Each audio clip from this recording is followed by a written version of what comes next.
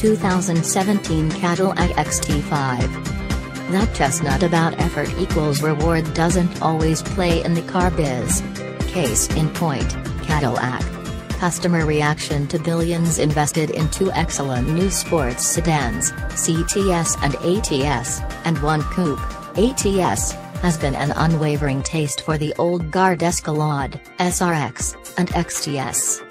This hasn't hindered Cadillac's determination to wage a frontal assault on luxury imports with the full-size CT6 sedan and the XT5, the two-row, mid-size crossover reviewed here.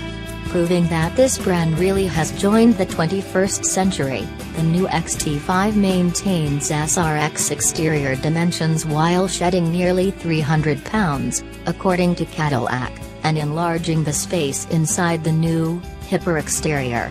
More remarkably, the XT5 is dexterous enough to convince import defectors they made a wise move.